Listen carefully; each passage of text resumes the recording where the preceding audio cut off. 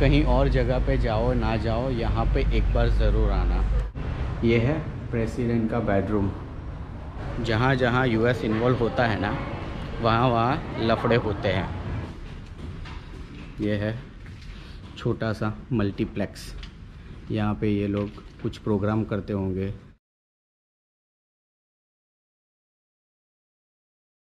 आज होची मिन में हमारा दूसरा दिन है। और हम जा रहे हैं कुछ खाना खाने। क्योंकि सुबह ब्रेकफास्ट नहीं किया है, कल रात को तीन बजे होटल पे आए और अभी हम लंच और ब्रेकफास्ट साथ में ही कर देंगे। और उसके बाद हमको मनी भी चेंज करवाना है। मनी चेंज करवा के हमको कल का एक ऊँची ऊँची टनल का एक टूर पैकेज हमको बुक करवाना है। तो हम वहाँ जाएँगे और टूर बुक करवाएँगे। अभी हम आए हैं यहाँ पे खाना खाने और हमने ऑर्डर किया है। ये चिकन करी है। और ये जिंजर चिकन है और उसके साथ सिर्फ़ नॉर्म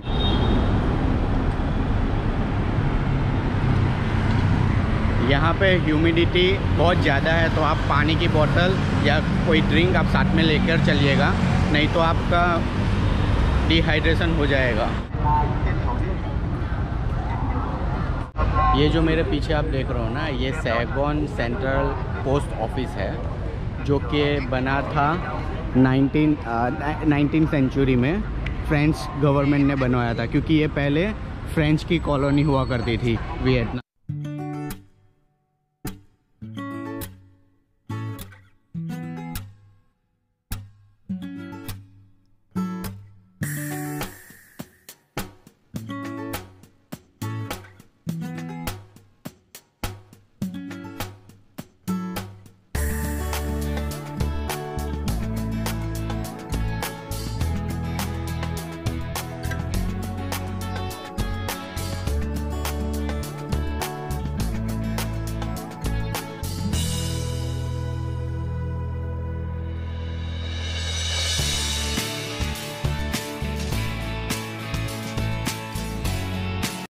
होचिमिन सिटी में अगर आपको होटल बुक करनी है ना तो डिस्ट्रिक्ट वन एरिया में ही होटल बुक करना। वहाँ से आपको थ्री से फोर किलोमीटर के डायमीटर डायमीटर में आपको सब अट्रैक्शंस प्लेसेस मिल जाएँगे। जब आप उस होटल में बुक कराओगे ना, उस एरिया में तो आपको ना तो बाइक रेंट करने की ज़रूरत पड़ेगी, ना ही टैक्सी तो ये सब आपका खर्चा बच जाएगा। और बहुत सारे रेस्टोरेंट्स आपको इसी टूरिस्ट अट्रैक्शन प्लेस में मिल जाएँगे। ये है, मेरे सामने आप देख सकते हो इंडिपेंडेंस पैलेस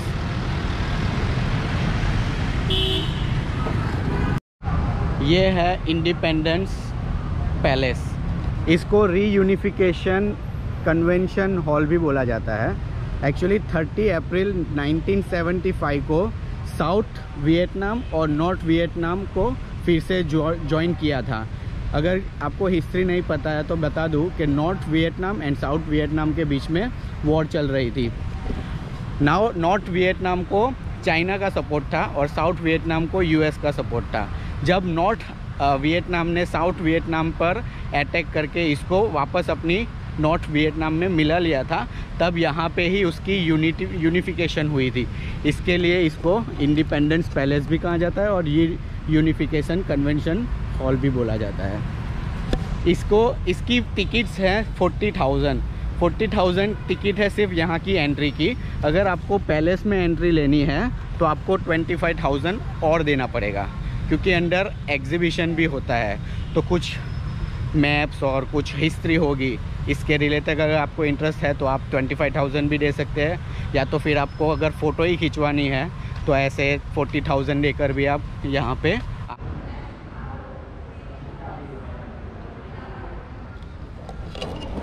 ये वही कन्वेंशन हॉल है, जहाँ पे कॉन्फ्रेंस मीटिंग हुआ करती थी वॉर के दौरान। आई थिंक 1967 से लेकर 1975 तक यहाँ पे कॉन्फ्रेंस होती रहती है।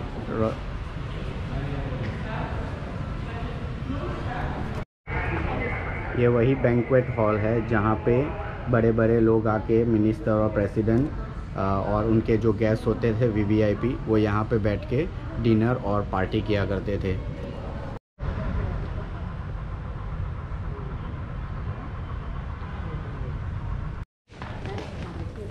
ये है नेशनल सिक्योरिटी काउंसिल की बैठक यहाँ पे होती है।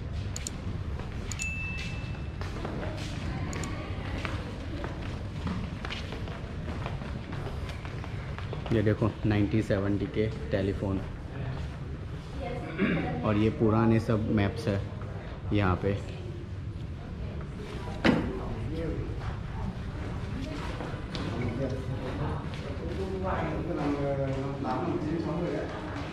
ये है प्रेसिडेंट का ऑफ़िस प्रेसिडेंट यहाँ पे बैठे हैं। बैठते थे और उनका प्राइवेट फ़ोन ये है वाइस प्रेसिडेंट का रिसेप्शन सलून ये है यूएस के एक्सप्रेस एक्स प्रेसिडेंट जहाँ जहाँ यूएस इन्वॉल्व होता है ना, वहाँ वहाँ लफड़े होते हैं।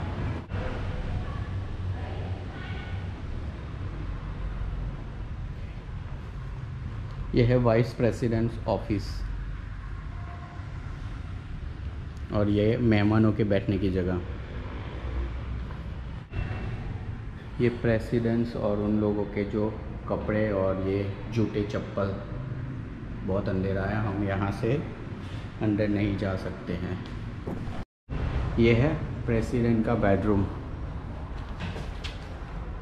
ये है सोफ़ा ये है पुराने ज़माने का एयर कंडीशन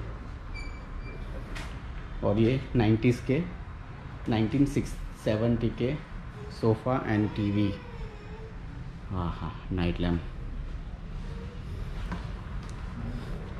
ये है उनका बेडरूम ये छोटा सा कपबोर्ड वो ये पीछे का नज़ारा, और ये बेडरूम ये सोफ़ा ये है नाइट लैम्प ये है प्रेसिडेंट की वाइफ को रेडी होने के लिए ड्रेसिंग टेबल एंड मिरर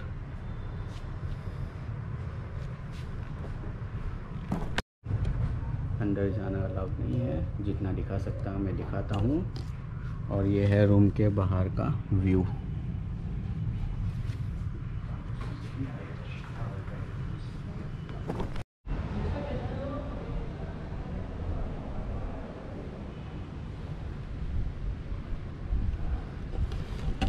अरे यार, इन लोगों के मज़े थे। इतना बड़ा पैलेस पूरे दो तीन लोगों के लिए, घर वालों के लिए, रहने के लिए।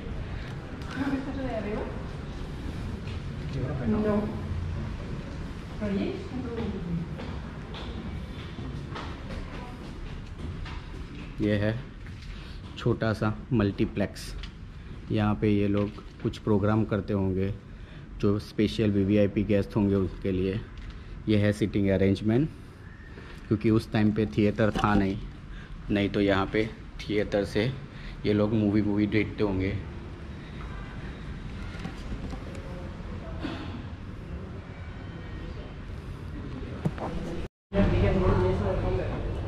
अरे, ये प्रोजेक्टर रूम है। वो जो नीचे हमने देखा ना, वो मल्टीप्लेक्स थिएटर जैसा है। यहाँ से वो मूवी वूवी दिखाते होंगे। ये देखो।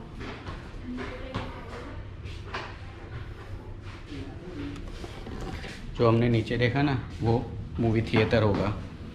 और यहाँ से प्रोजेक्शन होता होगा। अभी और ऊपर भी है। अरे भाई, बहुत बड़ा है ये।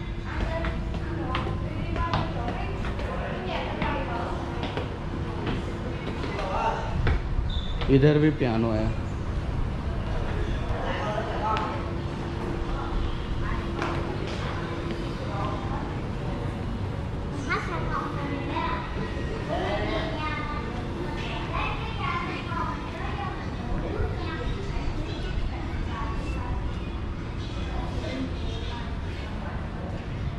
ये प्रेसिडेंट को यूज़ करने का हेलीकॉप्टर है। इसमें ही प्रेसिडेंट आते जाते थे।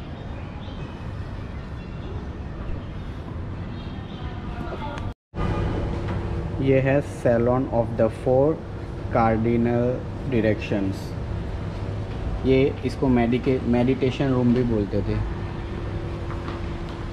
अरे, एक चीज़ समझ में नहीं आती। वॉर करते हैं, उसके बाद जो भी पीस बोलते हैं, उसको बोलते हैं पीस टॉक तो वॉर ही क्यों करते हैं? अगर पीस ही करना है तो पहले से ही पीस क्यों नहीं रखते हैं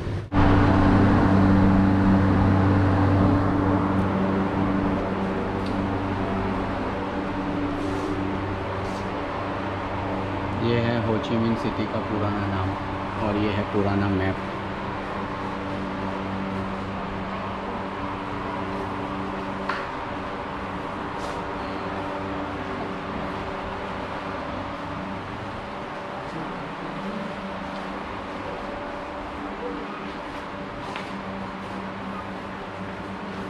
ये है कमांड सेंटर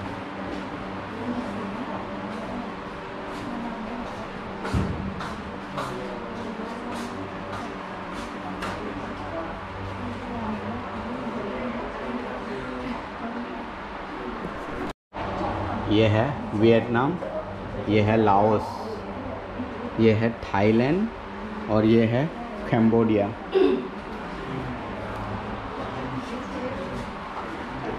ये पू, सबसे पुराना मैप है 28 जनवरी 73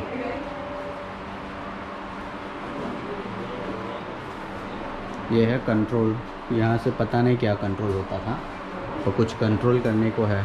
ये बंकर है।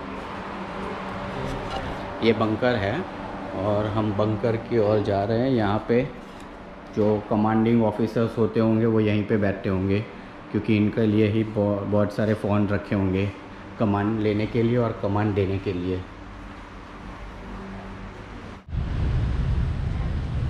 यहाँ पे एग्जीबिशन है तो यहाँ पे आपको पूरी हिस्ट्री मिल जाएगी। नाइन एटीन सेंचुरी से लेकर मॉडर्न वियतनाम की पूरी हिस्ट्री है। तो अगर आपको वॉर म्यूज़ियम या उसमें इंटरेस्ट है तो आप यहाँ पे आके, यहाँ पे पूरा एक्सप्लोर कर सकते हैं। पूरा तो मैं वीडियो में नहीं दिखा सकता हूँ, पर बहुत ही इन्फॉर्मेशन यहाँ पे है। और वहाँ की, यहाँ की हिस्ट्री, फिर ये फ्रेंच कॉलोनी कैसे बना, फिर यहाँ के शासक ने क्या किया था, यहाँ पे किन किन लोगों ने रूल किया है, वो सब इन्फॉर्मेशन आपको यहाँ पे मिल जाएगी। और इंडिपेंडेंस जो पैलेस है वो भी एक बार डिस्ट्रॉय होके वापस उन्होंने रीबिल्ड करवाया था। बहुत सारी इन्फॉर्मेशन है जो आपको यहाँ पे आके खुद आओगे तभी आपको मिल पा पाएगी। Just walk. Bro how much Coconut how much हाँ ब्रो coconut हाउ मच. अभी आपने वीडियो में देखा होगा कि एक जो बंदा था, वो कोकोनट कोकोनट बेच रहा था। और मेरे दोस्त को वो दिखा दिया कि भाई, ये ट्राई करो, देखो, बात करने की फ्रेंडली होने की ट्राई कर रहा था। फिर उसने क्या बोला कि मैं घर जा रहा हूँ, आपको एक केक फ्री में देता हूँ। तो अगर आप टूरिस्ट होंगे तो आप भी सोचोगे, भाई, ये घर जा रहा है। तो फिर हम, हमने क्या बोला, हमने भी ऐसा ही सोचा कि भाई, घर जा रहा है, चलो एक एक कोकोनट ले लेते हैं। तो हमने वो कोकोनट ले लिया। और वो घर जाने की बजाय वापस जहाँ पे इंडिपेंडेंस पैलेस है, वहाँ पे चला गया। और हम देखते रहे उसको, और वहाँ पे जाके उसने दूसरे टूरिस्ट को भी सेम सेम पट्टी पढ़ाई कि भाई मैं घर जा रहा हूँ, कैसे हो, कहाँ से आए हो फ्रेंडली होने की कोशिश कर रहा था। तो अगर आप भी यहाँ पे आए होची मिन सिटी में, और कोई भी कोकोनट वाला जो वेंडर है, वो आपसे ऐसा बात करे कि फ्रेंडली हो बोलेगा कि घर जा रहा हूँ तो फिर समझ जाएगा कि ये आपको कोकोनट बेचने की ट्राई कर रहा है।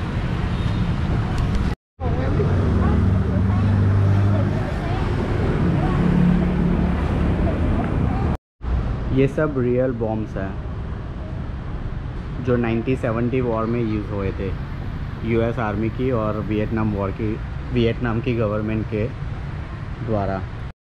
ये है वॉर रेमनेंस म्यूज़ियम इसकी टिकट है फोर्टी थाउज़ेंड वियतनामी डोंग। और यहाँ पे है अमेरिका के एयरफोर्स के प्लेन जो यहाँ पे अटैक करने आए थे और गिर गए थे, उसको यहाँ पे म्यूज़ियम के तौर पे रखा हुआ है। ये टैंक्स है।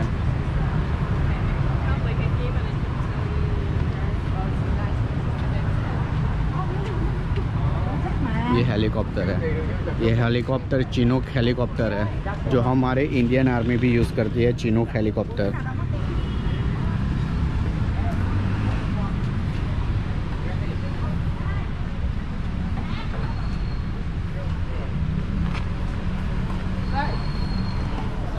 पहली बार इतने करीब से आर्मी हेलीकॉप्टर देख रहा हूँ। अच्छा लग रहा है।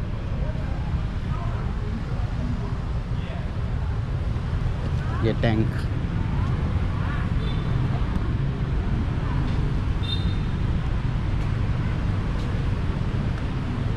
ये M forty one tank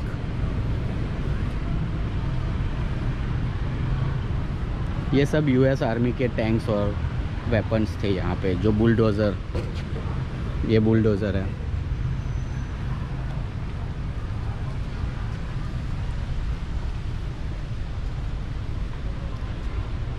US Army.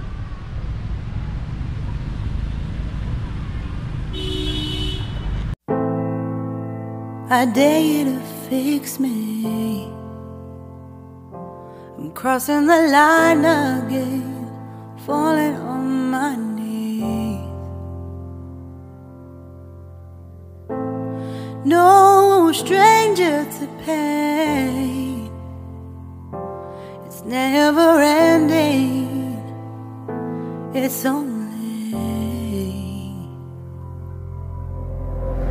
something I can't forget. My heart won't let it rest, but you keep on forgiving.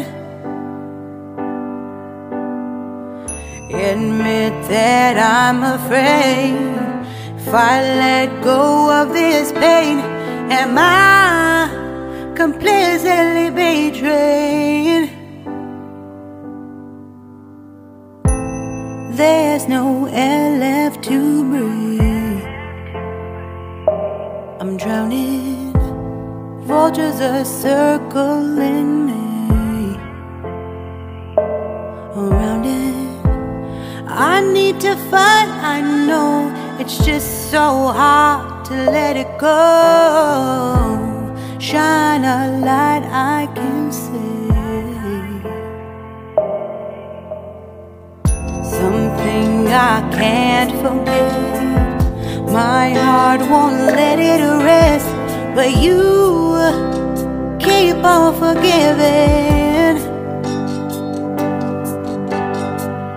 Admit that I'm afraid if I let go of this rage, am I completely betrayed? Something I can't forget. My heart won't let it rest, but you keep on forgiving. Oh, oh, admit that I'm afraid. कहीं और जगह पे जाओ ना जाओ यहाँ पे एक बार ज़रूर आना क्योंकि इसमें यहाँ पे आपको इतनी सारी जानकारियाँ मिलेगी जो यूएस आर्मी ने यहाँ पे वियतनामीज लोगों के साथ इनोसेंट लोगों के साथ कैसा अत्याचार किया, वो सब आपको यहाँ पे जानने को मिलेगा।